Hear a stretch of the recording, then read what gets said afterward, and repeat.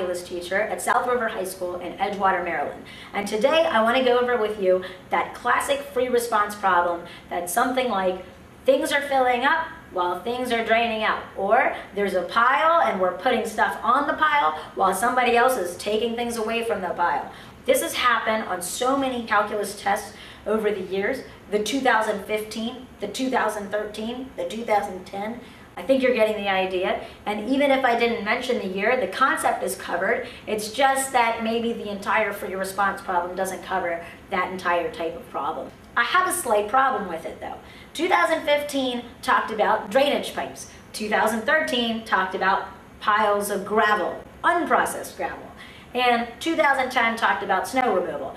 I don't know about you, but when I was in high school, didn't deal a lot with drainage pipes and piles of gravel.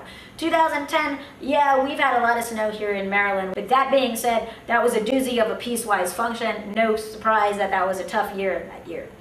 One of the reasons I want to go over this concept is because although it's higher level mathematics and we should be able to apply the concepts no matter what, here's the thing. I'd like to go over a problem that high school students deal with every day, but go along with the same concept of things that are entering while other things that are exiting. The bell schedule. My third period class had 29 students, and my fourth period class had 25 students. And you have five minutes to get from one class to the other. So we're going to use that example, um, but we're going to use the perfect example. Everybody's here today, and everyone's going to be on time. So let's go through this problem. I'm going to give you a chance to read through this exact problem. Let's do some predictions. First of all, tell me what these equations represent. For example, what does E of t represent? And one of my students will say, The rate. And then I'll say, the rate of what? The rate of students. Okay, right, yes, but the rate of the students doing what? The rate of students entering. That's really important. E of t represents the rate of people entering the classroom. It doesn't represent the rate of people in the classroom, just the rate of people entering the classroom. So we use what's called a closed reading strategy, using different colors, going in and circling what do these equations represent. As it says below, there are 29 students in the classroom at the beginning of the period, or really at the end of the period when the bell is about to ring. Now, the bell rings. One strategy I tell my students to think about is make a prediction about the problems before you even get to the questions. Tell me, what are we going to be asked? Well, one thing that we always talk about is probably the antiderivative. It just gave you two rate equations. It's probably going to ask you an amount. And we know that the antiderivative of a rate is going to give us an accumulation or an amount if it was people per minute, it's going to be the accumulation of people. If it was gallons per minute entering or being filled into a tank, it's going to be the accumulation or the amount of gallons that were uh, entered in. So it gave me an equation, E of t. And E of t, it said, that represented the students that were entering my classroom. Now think about that. When the bell rings, not a lot of people are coming in at the very beginning. Maybe a few people trickle in within that first minute, but it's not until really minutes two, three, four, where you start, start seeing a bunch of people coming into your classroom. So we know that the antiderivative from zero to five of E of t is gonna tell me how many people entered the classroom in that five minutes, from the time the bell rang to the time the bell rang again to signify that fourth period has begun. Similarly, the antiderivative of L of t is going to tell me how many students left. Now, I told you at the beginning, I have 29 students in my third period class, and they're all going to be here. So if I tell you from 0 to 5, the antiderivative of L of t, it should say that in that five minute time period, 29 students left my classroom. I guess we'll find out in the middle of the problem if it so asks me that. And then another question. We get asked all the time, where are we at a specific time? That requires you to know what you started with and how much you changed. In this case, we're talking about the 29 students I have in my third period class, and then how many students entered and how many students left. Here's letter A. This is where I love our little prediction exercise. What are you going to be asked about this problem? One of those things is the antiderivatives of those rates. Remember, if this is asking me how many students entered the classroom, and I've been given the rate of how many students entered the classroom, I have all the information I need to solve this problem. We already know the antiderivative from 0 to 5, when the bell rang to when the bell rang again, signifying class has begun. I get this number, of course the instructions told me, round to the nearest integer, and so I do, and I got that 25 students entered my class. That was right. I told you at the beginning, 25 students in my fourth period class, and they're all there. So if I'm wondering how many people entered my classroom in that time period, 25 students is what I should get. Letter B asks me, is the amount of students in the classroom increasing or decreasing? I know what the amount of students who entered was. The amount of students who entered is the antiderivative of E of t. So what is the derivative of the amount? Well, the derivative of an integral, fundamental theorem of calculus, is just that function itself. So if I want the rate of students that are entering, well, that's the function I was given, and I plug in 3, and I get that 5.388 students are entering per minute. Okay, well then we get to the L of t. Remember, L of t represents that number of people that are leaving my classroom. But not just the number, the rate of the number of people that are leaving my classroom. So I go in and I plug in L of 3, and I get that L of 3 is 0.380 students leaving per minute at time t equals 3. If I had to round to the nearest integer, that's 0. That makes sense to me because most of the students have left the classroom, haven't they? The bell has rung and they've taken off. So we get to this part of the problem. E of 3 is bigger than L of 3. The number of kids entering, the rate of the number of kids that are entering, is bigger than the number of kids that are leaving, the rate of the number. So let's think about that again. The rate at time t equals 3, three minutes after the bell rang, the rate is bigger than three minutes after the bell ringing and of people leaving. Makes sense? In our concept of what's going on and I make that comparison so we know that the amount of students in your classroom is now increasing. Let's get to letter C. Letter C is usually the hardest for students to do. It asks, what's the minimum? Now, it didn't ask for a local minimum, it asked, what's the minimum number of students that I have in my classroom? Now, students, when I ask this question, they'll say, well, zero. Okay, 29 students left, there's nobody in your classroom and you're waiting for your fourth period class to arrive. But that's not necessarily true. Here's my kind of ridiculous drawing of 29 students, those are the green dots, and the 25 students, those are the red dots. Those nine people, they heard the bell ring and they made a break for it.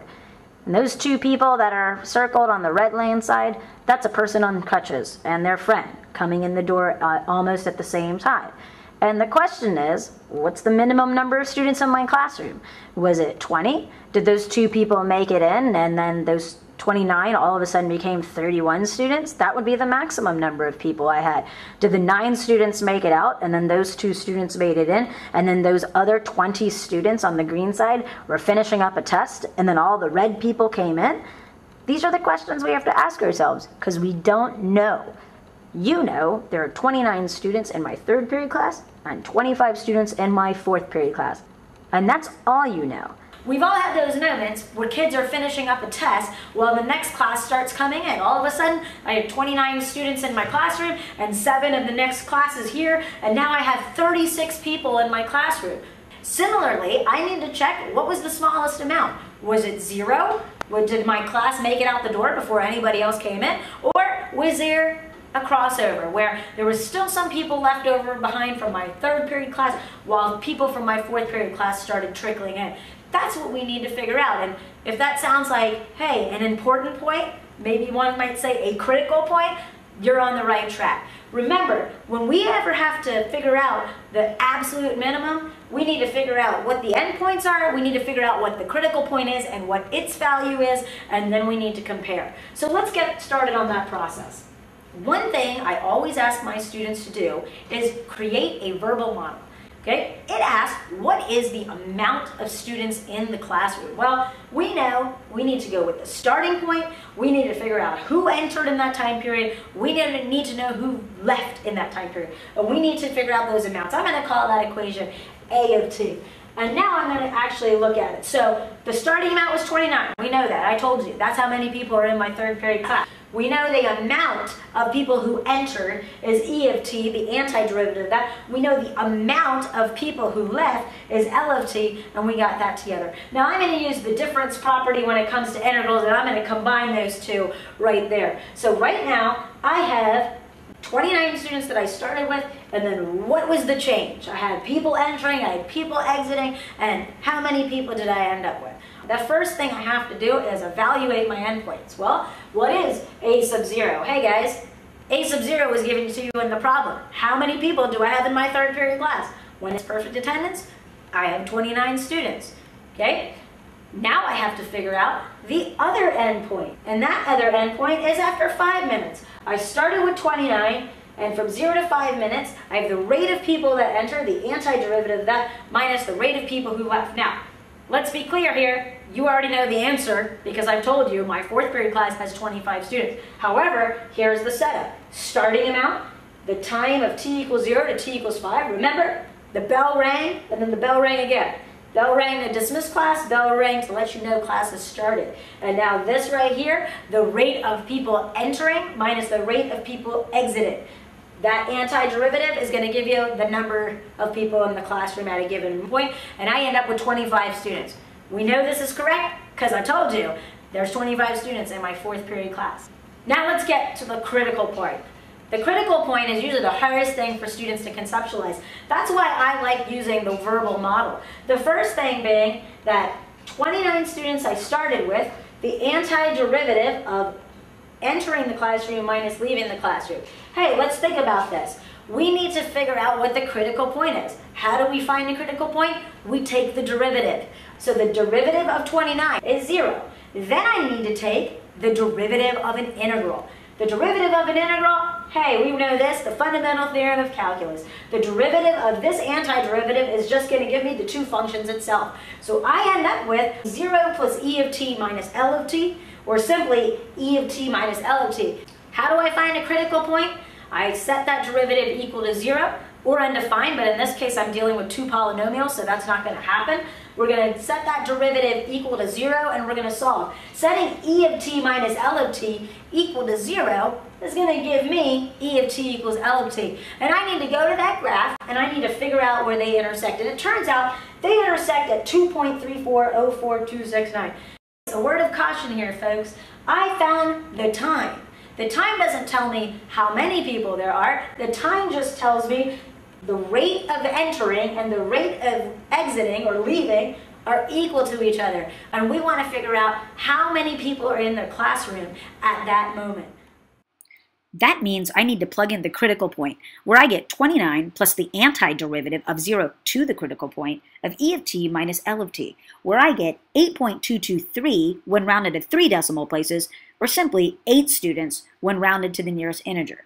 So, I had 29 students to start. I had 25 students at the end of those five minutes. So my third period class has 29 students. My fourth period class has 25 students, and somewhere in between, we ended up with eight students. That's the minimum number of students I had. This looks like a day I probably gave an exit ticket right at the end and said, hey, you're not allowed to leave my class until you do this AP review problem that's supposed to take a minute and a half for you to do. If you're watching this video, you're probably taking an applications of integral test or you're studying for the AP exam. If that's the case, then I really highly suggest you do the 2015 free response question number one in the calculator section. We didn't cover letter D in this video, but letters A through C are almost completely exactly the same, and I think you'll see that. Good luck to you. I hope this video was helpful.